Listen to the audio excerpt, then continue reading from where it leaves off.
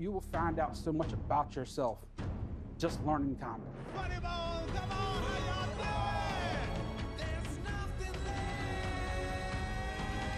It's a miracle.